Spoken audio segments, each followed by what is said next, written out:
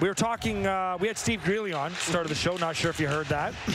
Obviously, talking about uh, development camp and some of the players here, Dylan Cozens. But I think the big name here, and big name, no pun intended, because he's six foot six, but Tage Thompson.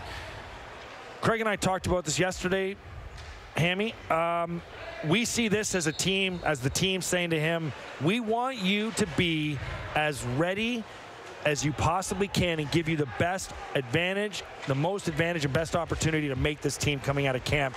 But not only make this team, with with Jason Botterill's comments about Sam Reinhart maybe seeing him as a guy that could maybe handle his own line and not necessarily just as Jack's wingman might open up a spot for a young kid, cost efficient player on the right side, kid that can shoot the puck like a Tage Thompson. That's got to be a wide, uh, like doors open wide open for a guy like that.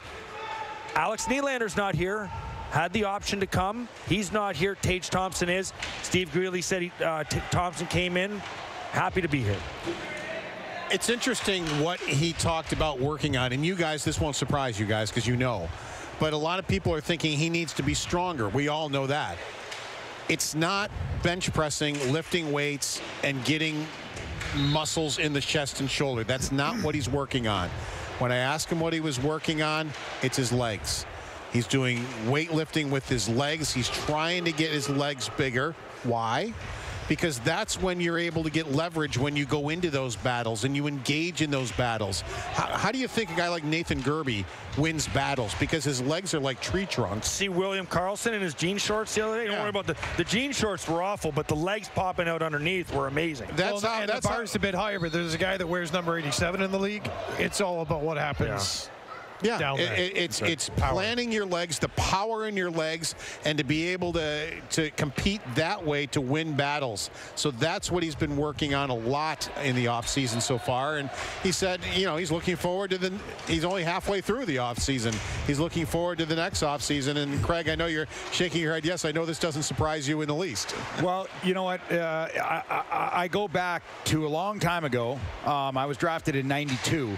And and when I went to my first couple camps, I remember going there and and doing our testing and our fitness testing. And I remember being very observant, watching certain players do their testing. And and and what I found out was the North American hockey players were bench pressing all the bench press because that was one of the tests. we were bench pressing. I shouldn't say we because I was pretty weak at the time, but all the North American players were bench pressing a ton. It was like they were lifting houses, just power, so much power. And then they got up and they walked away and they had legs that were this big. Mm-hmm. And then the next guy comes in and he's a European guy from Czechoslovakia. And he would get on the bench press and he couldn't even lift the bar. He couldn't even lift like the 150 pound bench press that he was supposed to be able to bench press. He had no upper body, but then he got up and he walked away, and his legs were like literally tree trunks. So when we got on the ice, we, I, I, started to watch these these uh, North American players versus the European player, and I started to realize the European hockey player was so much faster. And here's the thing: you remember that guy that we talked about that couldn't bench press 150 pounds? He was almost impossible to get the puck off of in the corner because his legs and his power and his stability in his lower body was impossible to move. So what I'm trying to say is, North American hockey started to realize it's not about how much you bench press. It's about your legs and your core and your lower stability. And you need that for power skating and to be able to fight in the corners for pucks. Well, and in front of the net. And I only bring that up because a great drill that your buddy Matt Ellis and the, and the crew are running here from Harbor Center. Tage Thompson was in tight against the post and jammed in a bouncing puck. That's not the goal people expect Tage mm-hmm. to score. It's a shot. But right after the coaches came over and they're tapping like that's it. That's exactly where we want. He has good hands, as you brought up, PD, early on. The guy's got good hands. Well, the, the reality his is, position, that was a good hand. You just gave if, me to the if, shoulder. Well, Dan. you were ignoring the show. If the side of the net. Yep. Park the two buses there yes, and say, try to move me. Yep. You're going to get a bouncing puck. It's, a, it's, it, I, was going to say it's an easy goal. It is if you've got great hands. You're like, I'll do this all day. They can't move me. If well, he improves over the puck, He is going to take his game to the next level. That is what's going to help him. We know he's got the shot and all that, but if he improves over the puck in the corners, around the net, Yeah. that's what's going to take him to the next level. I think We what what we talked about also, like we're talking about, he needs to get stronger on the puck. But what you just talked about right there, mm-hmm. if he does that this year, he's going to get 12 goals by being three feet away from the net. And how many will he screen the goalie on for the rest of the guys? Mm-hmm. Another Yeah. another 30 or 40. Just okay? assisting for But the screen. We all know that Tage Thompson's skill set, his hands and his shot Yeah. are elite. He is going to score goals next year with his shot and his release. But if he wants to score 20 plus goals, he's got to get in front of the net. He's got to establish body position. Remember the play in He's got to make it tough on all these defensemen that want to move him out. And then once the shot's taken, the rebound, just like that one that you just described, mm-hmm. that's how he's going to score Rewind it 20 even further. What we talked about earlier, two-way game.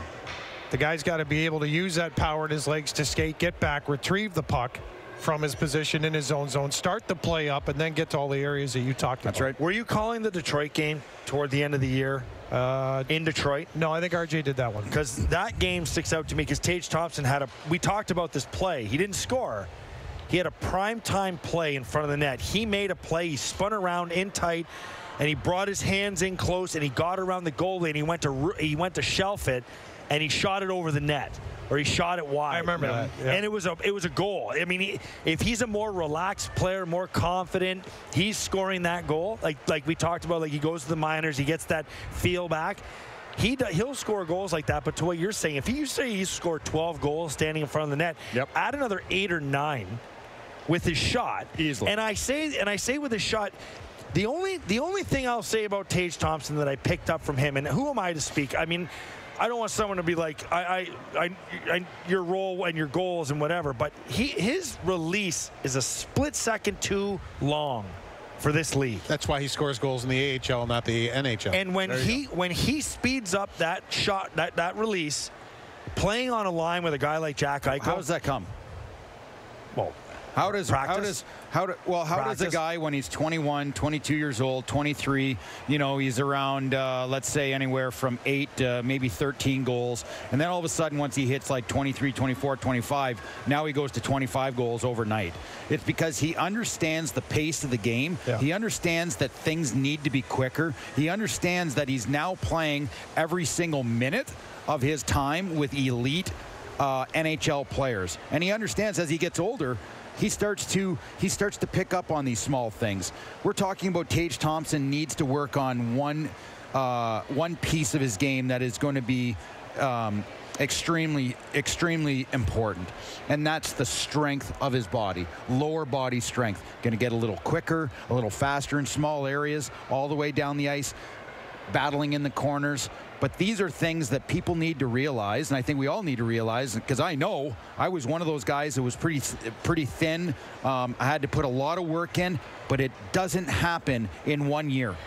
Does not happen in one year. We all know that Tage Thompson needs to work on this, but don't think that he's going to be coming in at 225 pounds and he's going to be all this powerful. It's going to take years. I was just going to ask you, how much do you, as a development coach, which these are development coaches, how much are you careful not to put too much on this guy's plate or any guy with potential? So you come in and, as Paul said, all right, he's working on his his lower body strength. So how much do you put on a player's plate right now? All If of it. you, you put it all? Oh, I, I think so. I mean, because one's in the gym and one's just extra. I mean, um, shooting pucks. I mean, they have they have here. If, if he stays here all summer or wherever he goes, I mean, you, you can put the you can put the work in in the gym and get get stronger. Then you can go and fire three, four, five, six hundred pucks later on in the day. I mean, you can split your workups out, uh, workouts up. It's not they're not considered two days. Shooting shooting pucks should be fun. It should be fun anyway. So. You know, they have the machine over here at the rink where Yeah, the- it do. spits pucks out to you and you can work on your release and, and it scores your shot. I think they still have it. Yeah, they do. Anyway, so, yeah, I mean, that's a great way to do it. We didn't have that when we played. We had to rely on What was somebody the else question to pass. that you were asking? Well, just, just how much you put on the plate of someone who's trying to digest. It, it's easy for all of us to say he needs to do this better, he needs to do this better. Uh, player X needs to do this better. So at, when you see someone that has all these tools Yep. at this level, and you're thinking, "Hey, this guy can be an NHL player," let's make sure he. Get, this is this is number one on your list. Number two, number three. Do you give him a list of ten, making him think, "Oh, I got ten things I got to work on"? Does it overwhelm a player? I don't know the answer. Does he I've have not 10 things there. he needs to work on? I don't know, but I'm saying how much it would overwhelm a young a young mind I, I today. Think, I think when you I think when you look at Tage Thompson in particular, and he's only one player of many that need to work on things. Yeah. Tage, Tage Thompson in particular, and his he's he's got a great skill set for a big man.